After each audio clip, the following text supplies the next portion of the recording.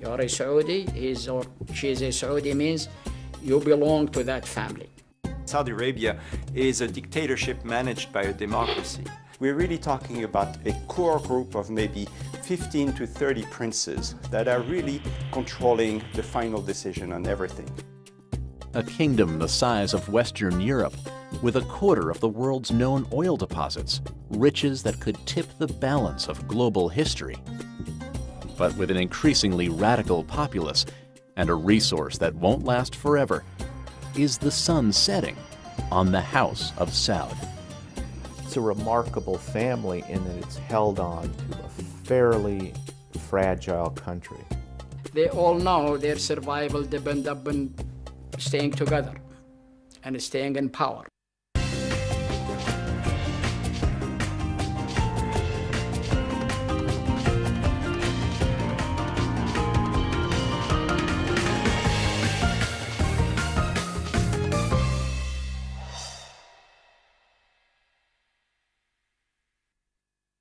Day brings further evidence that the ways we use energy strengthen our adversaries and threaten our planet.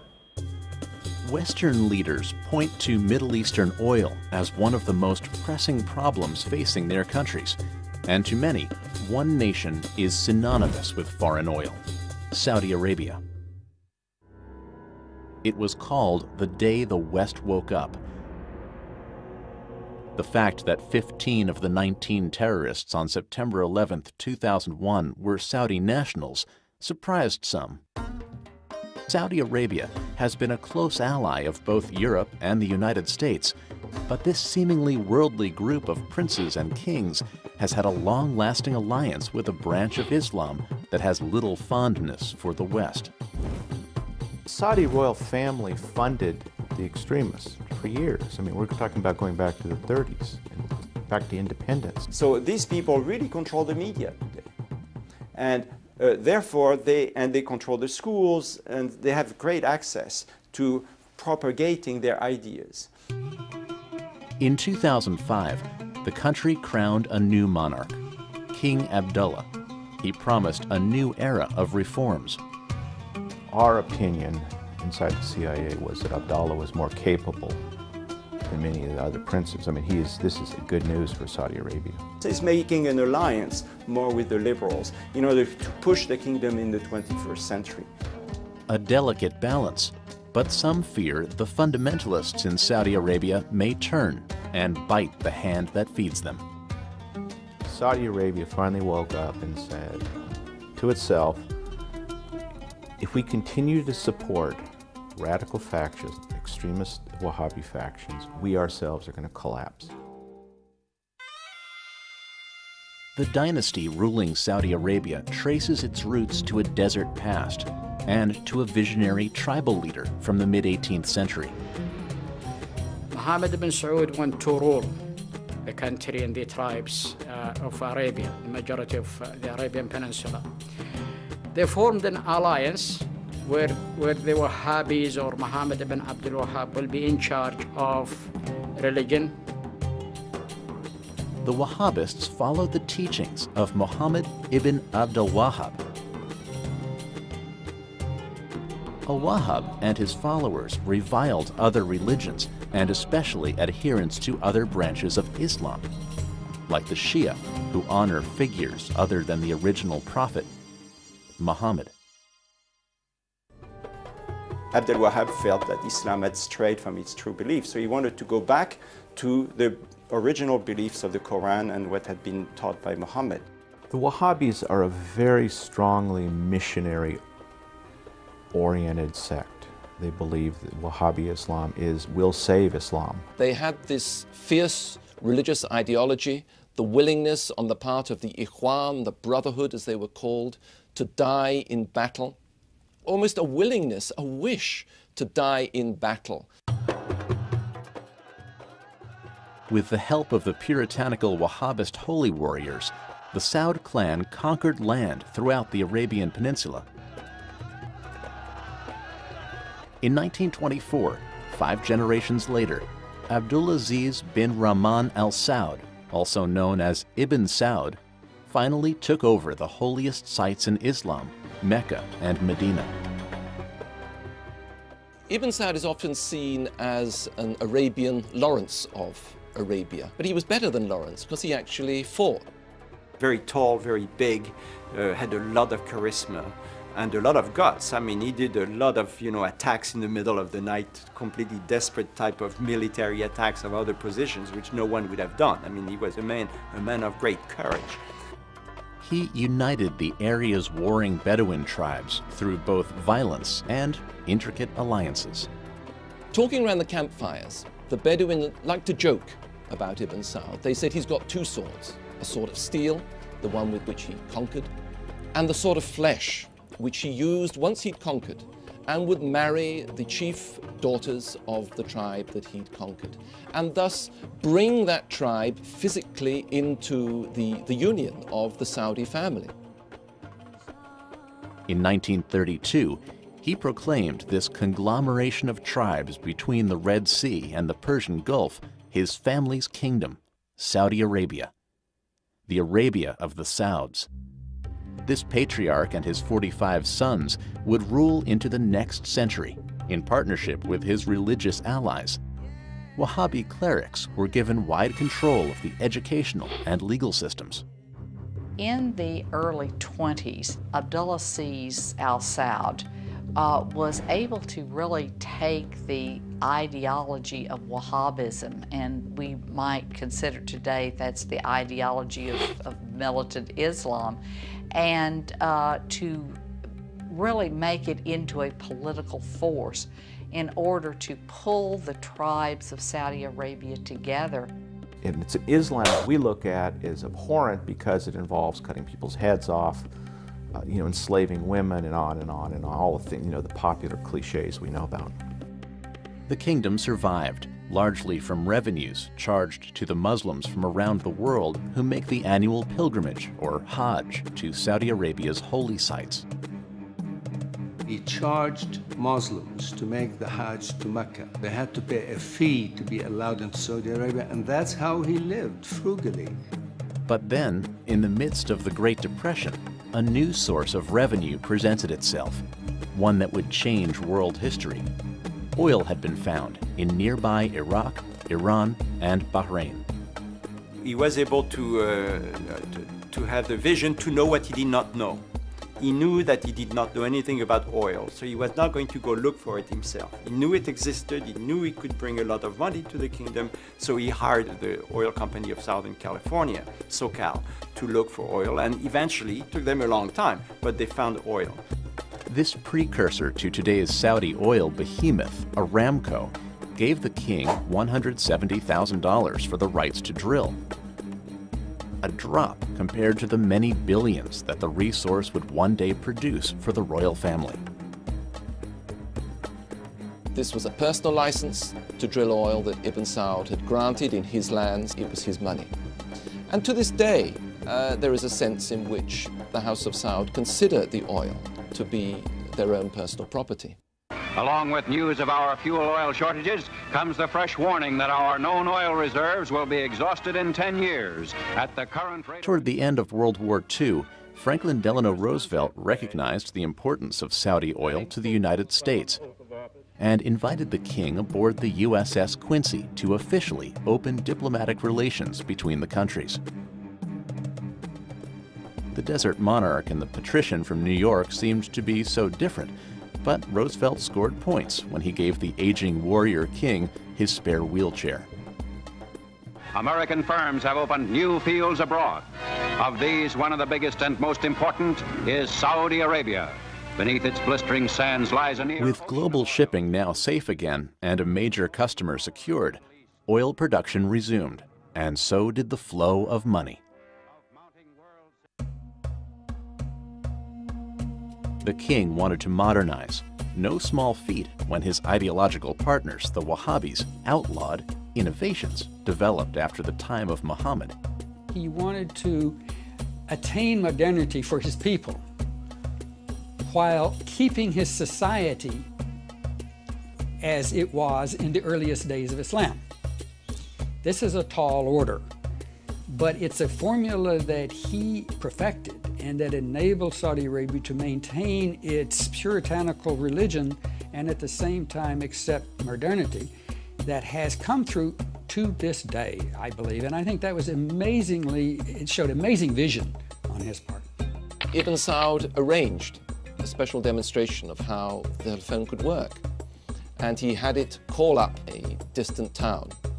And he said to one religious sheikh, well, why don't you speak on the phone and see what you can hear at the other end? And at the other end, Ibn Saud had, had stationed another religious sheikh.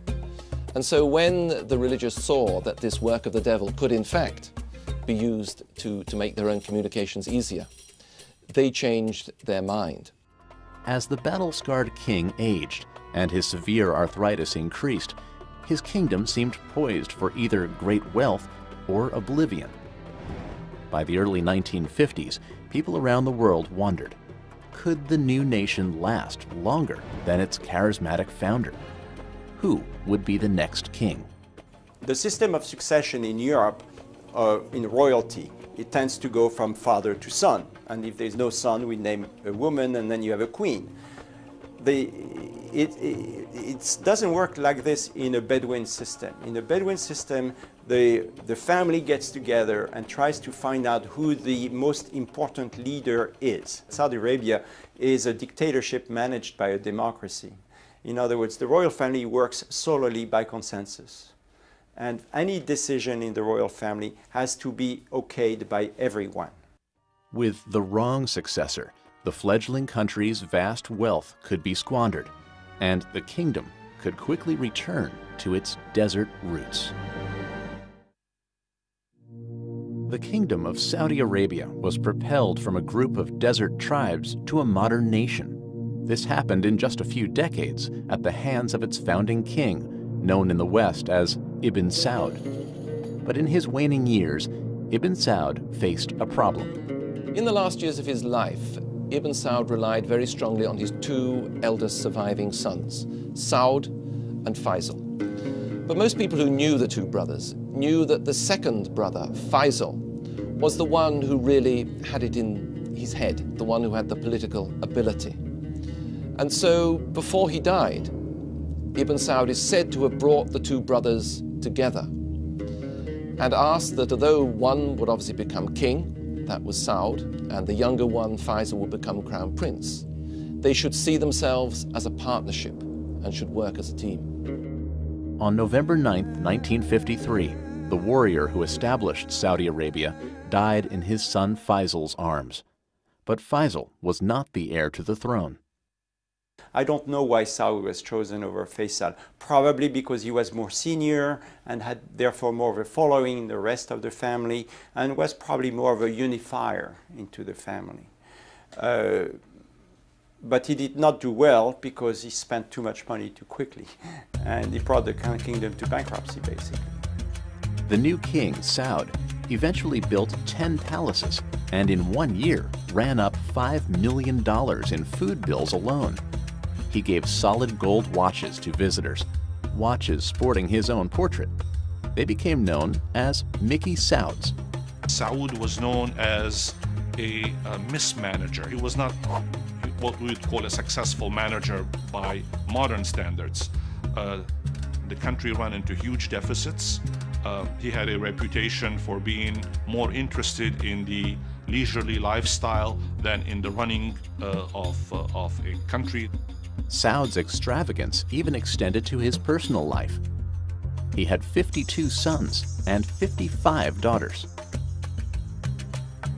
Saud's brothers were concerned about the hemorrhaging budget, and their Wahhabi Muslim partners were concerned with his relationship with Egypt's Gamal Nasser, a proponent of socialism. Would the royal family council try to undo the will of the patriarch king? would there be a coup d'etat?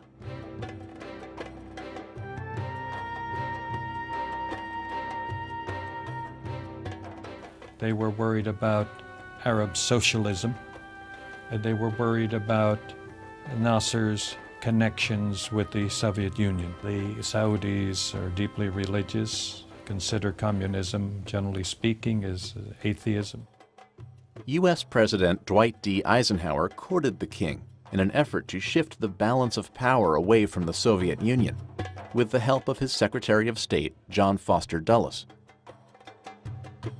Eisenhower and Dulles had the idea for a time that Saud, representing the Saudi state, which was receiving more and more oil income, might be a useful counter to Nasser in the Arab world. Saud favored Eisenhower's economic aid over Nasser's movement, but the cash infusion wasn't enough. The family council moved to sideline Saud and put the crown prince, his brother Faisal, in charge of day-to-day affairs, a huge embarrassment to a sitting monarch. King Saud tried to regain power, but the deficits continued. He was declared unfit to rule and exiled to Greece in 1964. Even who the king is, is defined by the family. You know, you have to be very, very subtle and very careful on how you work this out if you want to maintain yourself in power. He simply was not up to running a country that was rapidly moving from the 7th century into the 20th century. The skills, the sensitivities, the sophistication, the administrative skills, he just didn't possess. He was a rather tragic figure. It was Saudi Arabia's bloodless coup. The deposed king died in 1969. King Faisal had already been the country's leader for years. President Kennedy supposedly said to Faisal, Your Majesty, you're going to deny this, but there are slaves in your country, and I want them freed. And they were freed as a result of this meeting. Personality wise, they were so different. Intellectually, they were so different. Saud, the last thing one would ever have said about him was that he was an intellectual. That wasn't his interest. Faisal was very well read, paid attention to all kinds of things. He was, he was a very wise, able man. An austere figure with a surprising past. I understand that when he was a young man, he was a bit of a libertine at times. Uh, I can't say how much or just where, but that was what the stories were. In his youth, Faisal was known to live the high life, even on a humble picnic with friends. Oh, that was hysterical. That really was hysterical. And we, we prepared um, beef hot dogs and, uh, and uh, all the fixings for any picnic. And we went to the park in limousines yet. and I'll never forget Prince Faisal got a hot dog bun, put the hot dog, and uh, caviar and whale salt on top of it. This was a trend that would be repeated again. Princes who break Islamic laws by drinking and carousing, who later become devout kings. Faisal soon became one of the most popular monarchs the region had ever known. King Faisal, I, I, think you could almost call him the idealized king. He was tall, he was very distinguished looking, much more educated and worldly than any of the predecessors. This popularity meant that Faisal was able to launch ambitious plans to modernize the country. He built hospitals, schools, and initiated massive irrigation projects. Faisal, more than any other king in the kingdom, is the person who actually propelled the kingdom into the modern era.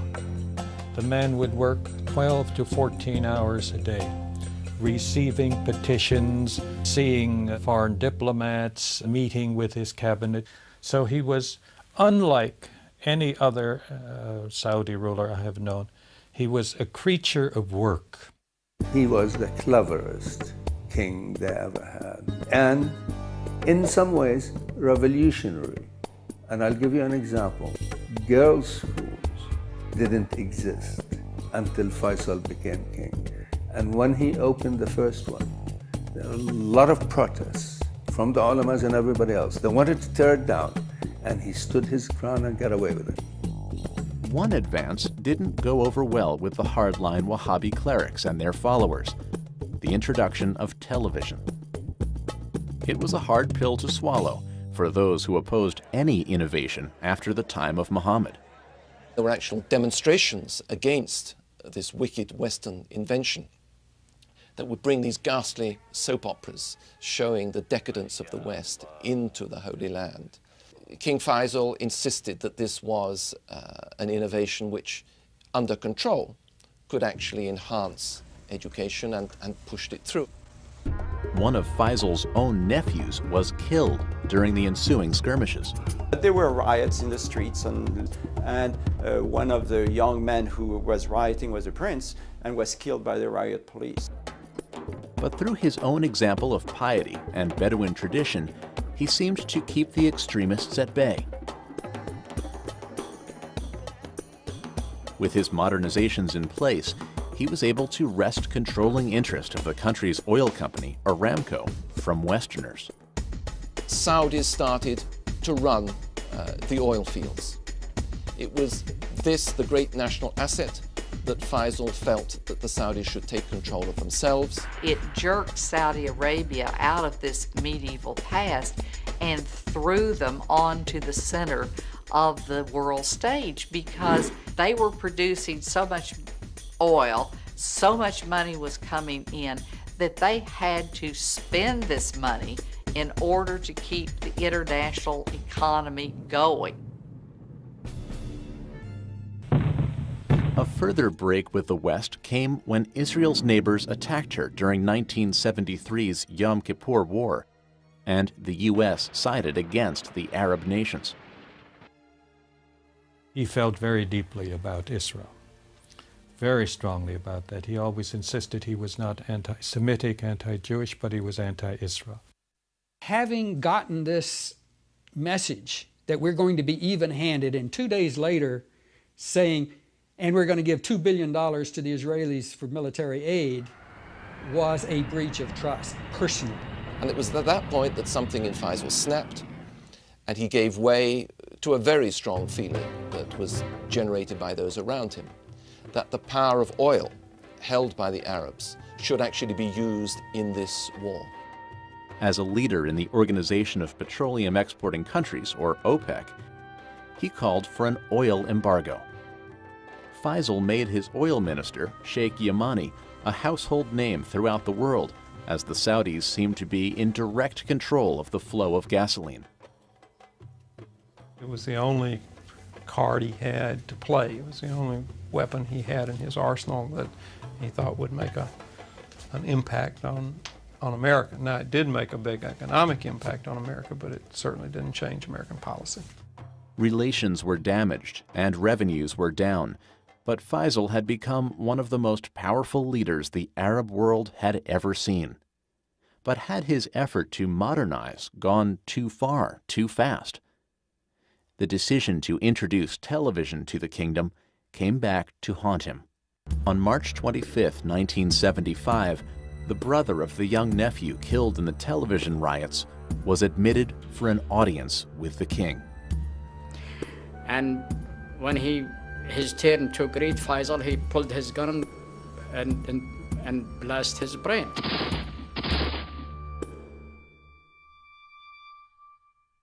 I was so,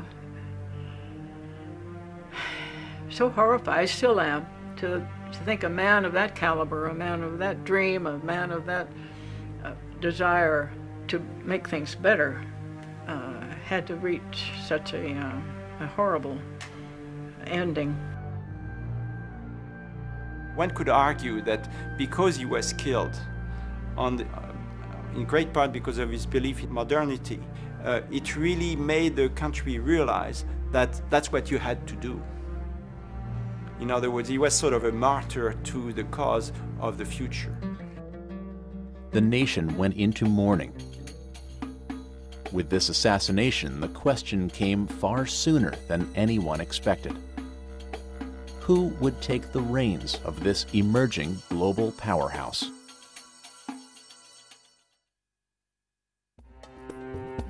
With the assassination of King Faisal, the Kingdom of Saudi Arabia suffered another crisis of leadership.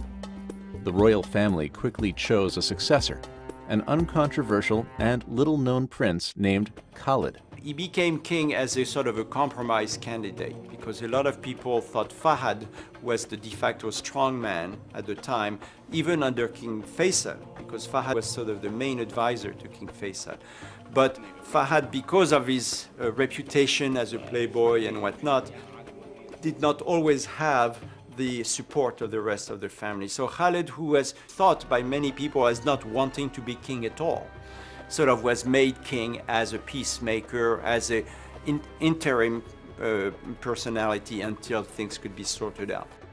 Khalid was more of a caretaker king, unlike Faisal, who was always busy running a government. Khalid was much more comfortable in the tribal environment. He was the least remembered person and, and all of these people. He did nothing. He was not interested in being a king. Uh, he spent most of his time out in the desert. King Khalid loved sitting in the desert. He loved his hawks. But as he got older, um, he wasn't so mobile. And so he had um, a sofa put into the back of um, an all-terrain vehicle and would go out hunting in that. During the reign of the caretaker king, there were major shifts in the Muslim world. In 1979, militant fundamentalists took over the mosque in Mecca. Saudi forces killed over 100 people. Taking over Mecca was truly for them a wake-up call. This cannot continue solving problems like this. The Saudis, remarkably, by the way, for a Middle Eastern country, backed away from violence. Just one month later, Afghanistan was invaded by the Soviet army. To the Wahhabi clerics who were the royal family's partners, this was an unacceptable presence in the region. The Soviet Union was seen as godless. It was godless. And therefore, a direct threat not just to Afghanistan, but to the whole Muslim community. In Afghanistan, Saudi Arabia was the full partner of the United States. We both agreed the best thing to do is just hand out arms and money. Saudi nationals went in droves to fight the Soviets, including a young Osama bin Laden. It was very successful for the, the Saudis and, and successful for us. The, Saudi, the, Soviets were defeated. And uh, all these young mujahideen, uh, uh, paid and trained uh, by the Saudis and to some degree paid and trained by us, uh, were also victorious. But uh, actions have consequences. Khalid suffered a heart attack in 1982. He died just seven years into his reign. Khalid's legacy, the Saudi involvement in Afghanistan, would have major repercussions in years to come. How do you reintegrate uh, young warriors when they come back uh, victorious from a war? They looked and they saw instead of a country ruled by shepherd kings, uh, uh, living austere Muslim lives. They saw a country that was run by and for the benefit of the royal family. And uh, where there was a gap between what the royal family said and what it actually did. With Khalid's death, the crown prince Fahad became king. By reputation, he seemed the opposite of the austere Muslim that the Wahhabist populace expected of their leader. Word had it that he had once lost $6 million in a single night in Monte Carlo. He owned yachts, an estate in Spain. Even Fahad's weight was seen as a symbol of royal decadence. The king's weight would balloon up into, you know, well over 200 pounds and perhaps a good deal closer to 300 pounds. And then he would go on these crash diets. But pretty soon you'd see him, and even in the flattering, concealing garments that uh, Saudis wore, uh, you could tell that there was a lot of king there beneath these garments. I think it added to the way people saw him as someone who was not as self-disciplined and uh, with the same inner checks that uh, someone like uh, Faisal uh, so totally had. The entire family came under scrutiny. One prince, Al-Walid bin Talal, was said to be worth nearly $20 billion before his stake in Citigroup plummeted during the bank crisis of 2008 and 2009. In one of his opulent homes, Al-Walid had 17 dining rooms, 12 elevators, and a private screening room.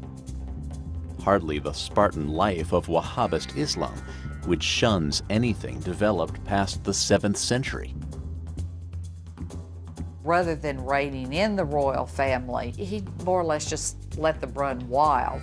I think Fahd really was breaking the commitment to what I might call social justice in Saudi Arabia and allowing the elites to amass great wealth. They were very much nouveau riche at the time, and when all of a sudden that this big manna coming from heaven, and you know they were spending it like crazy. I mean, it was very much fun, and then they realized that there's a lot of drawback to that. Also, King Fahd was uh, really was seen by the religious establishment as being too wild, and so when he became king, he had to make up for that. Even as the royals reaped their percentage of the oil profits, unemployment within the kingdom soared. You had this uh, population explosion, more and more people who were needing education and, and needing health services, needing housing, and needing jobs. And the Saudis just were not uh, producing the jobs that they needed in order to keep the uh, population, you know, satisfied.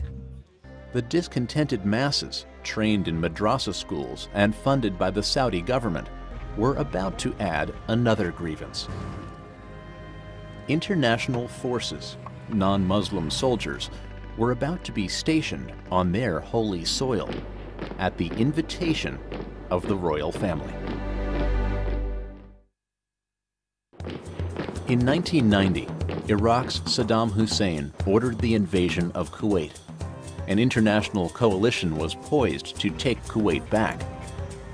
King Fahd, fearing that his kingdom was also in Saddam's sights, agreed to station foreign troops on Saudi soil. Saudis had always had a real fear and resentment of an American military presence in Saudi Arabia for two reasons. One, they are xenophobic, and the idea of armed foreigners in the country was very disquieting to them. Another thing that, that was of grave concern to them was that they consider Saudi Arabia to be sacred soil because it is the place where Mecca and Medina are. As if to counter the criticisms, continued to fund the religious right. He allowed the conservatives to take over society. And under the, the years of King Fahd, society became very, very closed. Women were not allowed to work when they were allowed to work before. Of course, they still are not allowed to drive. Um, you know, foreigners were really kept aside, etc., etc. And uh, they gave a lot of money to movements outside, uh, proselytizing movements outside Saudi Arabia to push this, this conservative Wahhabi trend. And so the religious right was always reluctant to attack the royal family. I mean, they were the financiers. But the efforts didn't silence the most radical elements, especially since 5,000 American troops remained after the first Gulf War. A fact that made the top of Osama bin Laden's list of grievances. He uses the American presence to recruit some of these religious extremists who are trained in Saudi universities to literally hate non-Muslims. And look who is supporting the Saudi royal family. The infidels are supporting them, who happens to be having bases in our country. In November 1995, angry rhetoric turned to violence. A U.S.-run training facility in Riyadh was bombed killing five Americans and two citizens of India. King Fahd claimed to have found and executed the guilty terrorists, but U.S. law enforcement agents complained that they had never been given access to the investigations. You know, from our point of view here, of course, we viewed it as the killing of U.S. servicemen, and therefore we wanted to be involved. But from the Saudis, it was on their territory, and they were going to lead the operation, and they were going to manage the, uh, how it was investigated. The following year, terrorists drove a truck with 5,000 pounds of explosives into an international complex called the Khobar Towers. 19 Americans were killed and nearly 400 people of various nationalities were injured. This was a strike at the royal family, bring it down. Um, and I think it was vulnerable. And then, the events of September 11, 2001. 15 of the 19 attackers were Saudi nationals. The alleged mastermind, Osama bin Laden, was also from Saudi Arabia. People around the world started to focus on the royal family and their relationship with the hardline Wahhabi branch of Islam. This was never planned by the Saudi royal family, but they allowed the Wahhabis to spend their money in places like Pakistan, and this is the result we're getting. Victims' families alleged that key Saudi figures funded al Qaeda, including Prince Sultan, the defense minister, and Prince Turki al Faisal, the ambassador to Great Britain at the time. Although we cannot prove that high ranking Saudi officials committed this atrocity, we know for a certainty that they were the terrorists' travel agents who delivered them well fed, well trained, and well equipped to the World Trade Center that day. Most of these allegations were dropped by 2005, but damage had been done. The Saudi monarchs threatened to divest of key investments in the United States. During this period, Fahad suffered a debilitating stroke, and Crown Prince Abdullah took responsibility for day-to-day operations it was an excruciating period for the Saudis because they didn't know who was in control. So you had a huge power vacuum. Rumors swirled that Fahad's prominent full brothers, known as the Sudairi Seven, weren't ready to give up power. The Sudairi Seven are, they had a single mother from Sudair. It was the favorite wife of Abdulaziz, the founder of Saudi Arabia. And they had seven boys out of this relationship. Um, who are all very capable, politically well connected, and have run the key ministries, key industries in Saudi Arabia. And they act as a faction. There were even whispers that Fahad was being kept on artificial life support to prevent Abdullah from taking the throne. In these inner circles of the royal family, no one knows how decisions are made. No one knows why they're being made.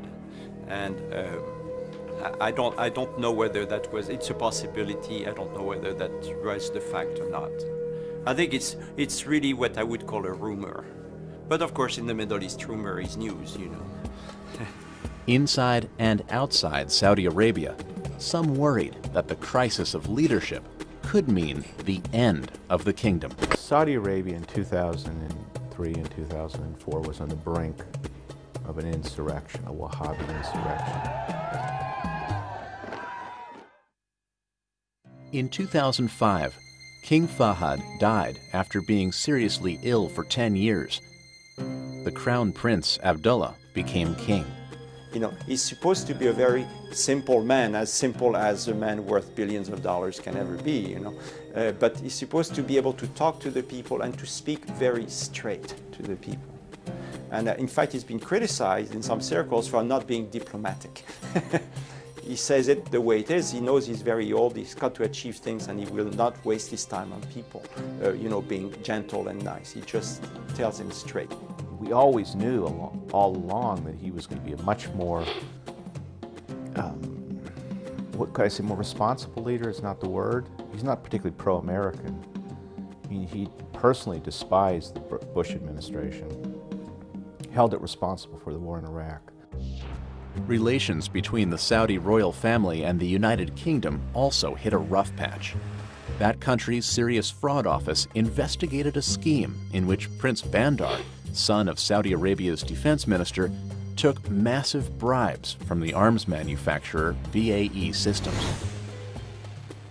It was very well known in the kingdom uh, that the BAE uh, contracts had been subject to probably some kind of um, understandings on how the payments were made.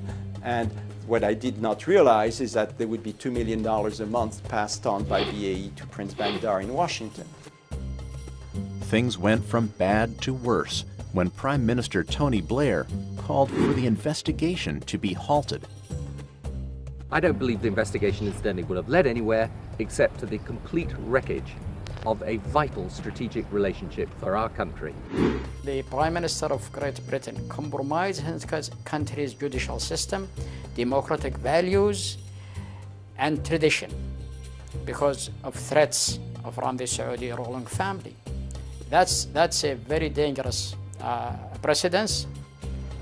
As king, Abdullah could finally roll out more of the reforms that he promised. But change can happen slowly in the Middle East. The real point is management inside the country. And, and, you know, frankly, I didn't think this was going to be this smooth. Saudi Arabia is stepping into the 21st century. Slowly, but it's coming in. Because he believes that the kingdom will only reach its uh, potential if it's allowed to develop economically, and that means really moving away from the conservative religious establishment. Abdullah has also started to carry out his goal to loosen ties to the West. He tried also very hard to go east to China and to India and have arm deals and arm sales with these people in cooperation. And he felt comfortable with that and he used that actually as a blackmailing uh, instrument against the West. You know, we, we, are not the only boys and girls in town. I mean, China and India, their economies, they will use our oil. We could get arms from them. We could services. So we don't need you as much as we do. Whatever his reputation, Abdullah seemed to hold particular sway with the product of another oil family, President George W. Bush. The, the big image we have of this is saying is when Abdullah went to Crawford, Texas, and talked to the president and walked with the president around the compound there. And that meeting in Crawford was very important for the Saudis. Not so much for the war in Iraq, which there was always disagreement and they'll never agree with us on anything on that. But one of the big decisions that were taken at Crawford, which didn't make headlines at the time, was the fact that the king was able to convince the president to allow Saudi Arabia into the WTO against a lot of the objections of the Europeans. Today, Abdullah is pushing to diversify, making the kingdom less dependent on one resource. If the price of oil stays down below $30 for a long period of time, Saudi Arabia will once again face existential problems, as will the rest of the Gulf. So they're, they're spending an enormous amount of money on education to bring more research, more dependence on science. They are spending an enormous amount of money on creating factories that will use their energy, of course, because that's what they have, that's cheap, but in a way that instead of selling it for $40 a barrel, that after the value added and the work and so on, they will sell ultimately for $500 a barrel. Abdullah is the right man at the right time. He has maintained his ties to the to the traditionalists. He is very well respected by all Saudis as being uh, pious, uncorrupted. And he knows it's going to take a generation at least to change the educational system. But he knows if you don't start now, you'll never get anywhere and the kingdom will stay as a second-rate power forever. In February 2009, King Abdullah shocked the world. He announced that he was dismissing ultra-conservatives from top posts and made other changes. And we've seen with the appointment of a female minister, deputy minister. I mean, this is, this is all fantastic news for Saudi Arabia. This is a vibrant society. It has its problems, like all societies in the world, but it is not a failed society. It is experiencing growing pains, but it is a society that will certainly endure. If Abdullah's strategies work, the House of Saud will also endure, but the king is in his 80s. By 2009, Crown Prince Sultan was reportedly already terminally ill. Plus, the rest of the sons of the founding king are also of advanced age. The succession process is anything but a sure thing. Soon, a grandson, or even a great-grandson of the founding king, will have to be chosen. And we, we don't know who's going to be next, but he has made it in such a way that whoever comes next will be very close to his views of where it should go. Many of them, the grandsons, are educated people. Uh, very detached from the past. I mean, from the Bedouin traditions like King Abdullah and his brothers. They grow up in semi-nomadic life and, you know, like to the sword dance and go to the desert and hunt. These new generations grow up like many other generations with computers and, and, and you know, public universities in, the West and other places. So their value system has changed too. So there might be some, uh, might be some positive changes in terms of spreading power a little bit, okay? But it will be a very interesting thing to see. In just a matter of decades, the Saudi royal family has presided over a nation's transition from a tribal society to a major player on the world stage. Despite all the internal and international turmoil, the House of Saud has retained its power. As the Saudis like to say, they're like a fist.